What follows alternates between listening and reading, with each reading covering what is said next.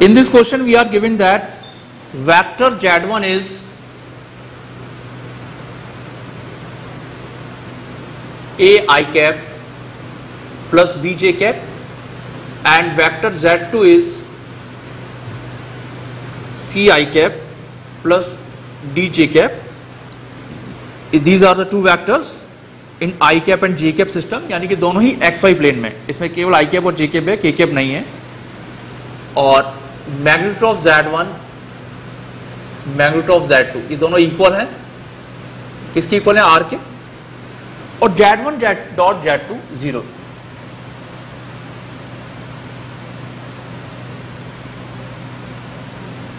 that mean Z one Z two कैसे? Perpendicular तो ये एक्स वाई प्लेन में लाई कर रहे हैं दोनों ही वेक्टर्स क्योंकि इसमें के कैप की टर्म नहीं है है ना?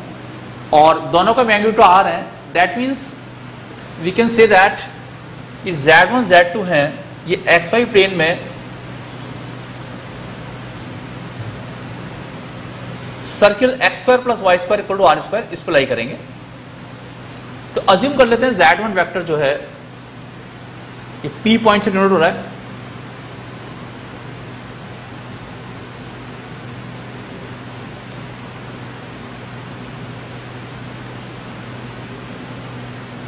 राइट तो यदि ये एंगल थीटा है तो पी के कोऑर्डिनेट क्या हो जाएँगे? पैरामेट्रिक कोऑर्ड में रेडियस आर है तो R cos theta comma R sine theta and Z one is given to be A I cap plus B cap that means A is R cos theta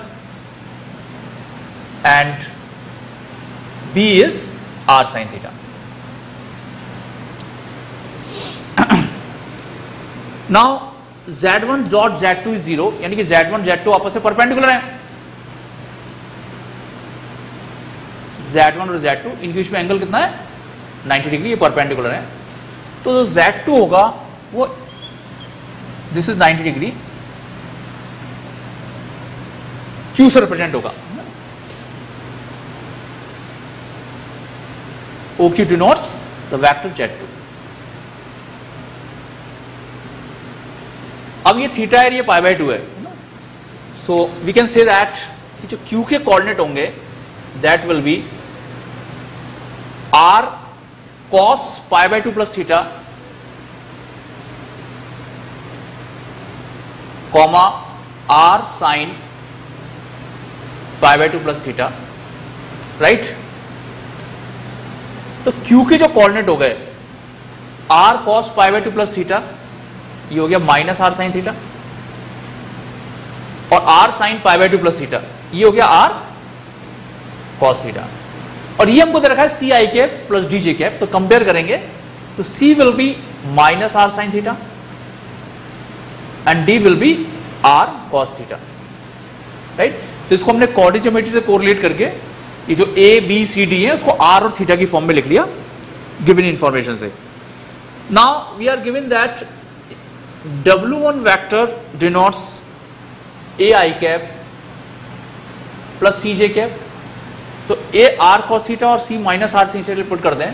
तो that is R cos theta I cap और C is minus R sine theta तो plus minus R sine theta J cap and another vector W two is B I cap plus D J cap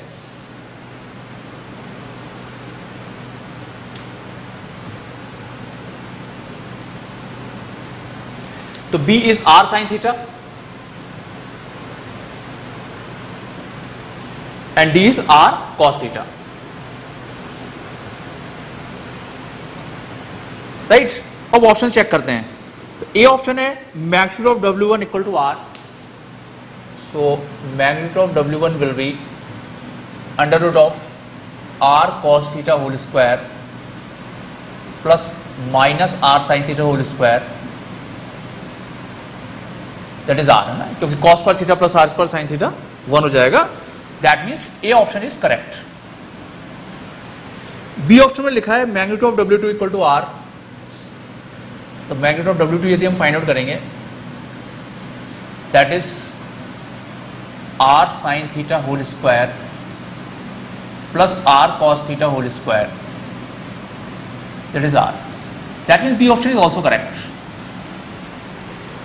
now C option C option लिखा है W one dot W two equal to zero so if you find W one dot W two ये आ जाएगा R cos theta into R sine theta that is R square sine theta cos theta plus this into this तो ये minus sine की वजह से आ जाएगा minus R square sine theta cos theta